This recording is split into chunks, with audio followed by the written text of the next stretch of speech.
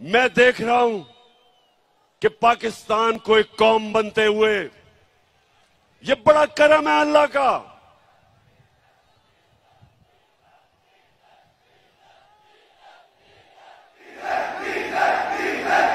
अच्छा मैं जरा भी पहले बाकी बातों से पहले जरा डीजल पे आ जाऊँ।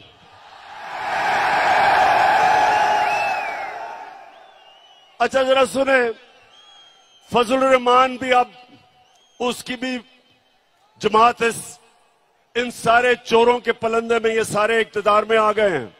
बंदर बांट हो रही है। अब ये मैंने सोचा कि फजल रहमान तो बड़ा दीनी आदमी है। तो वो आके कोई तालीम की, एजुकेशन की मिनिस्ट्री संभालेगा।